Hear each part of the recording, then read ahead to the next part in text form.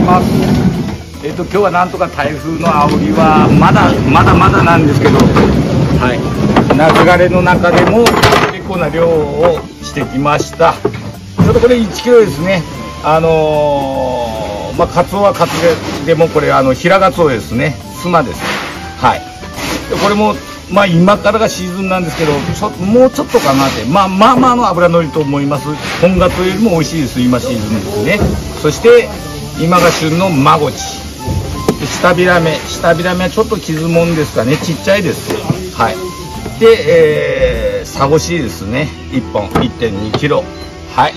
そして、えー、0.8の水イカ。はい。それに今日はなんと高級魚が2品あります。これは大門旗ですね。これキロ2500円でお願いしたいと思います。これ本当に状態いいです。はい。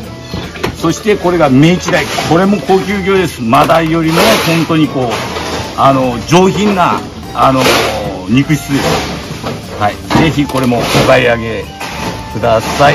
そしてヒラスズキ0.6ですね。ちっちゃいです。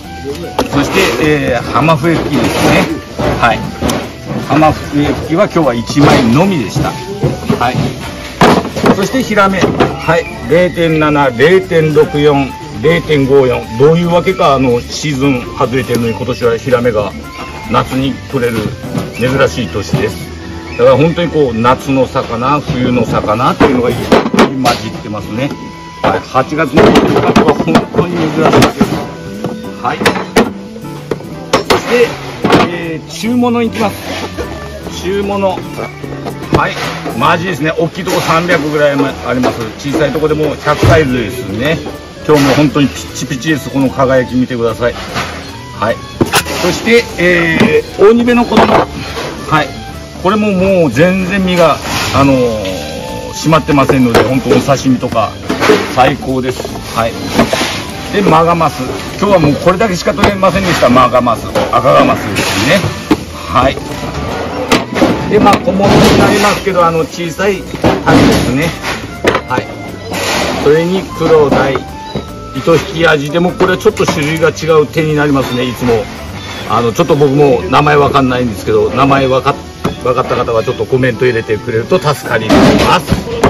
はい。そしてこれはヘイマですね。はい。舞です。今日は結構取れてます。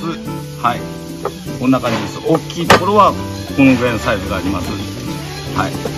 これはまああの松野さんがおそらくお買い上げになるんであの大きいところいる方はどうぞご注文ください。そして、えー、この城ですね。はい。この城今日たくさんあったんですけど今日約50キロ近くありました。で2.5キロ残しております。はい。それからはい。小アジですね。もうだいぶ大きくなってきました小アジも。はい。そして、えー、今これがまさに旬を迎えているサバフグですね。今日結構大きいところあります。金麦もですね。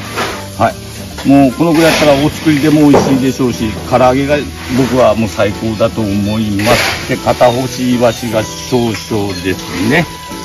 はい。以上です。本日もお買い上げの方よろしくお願いします。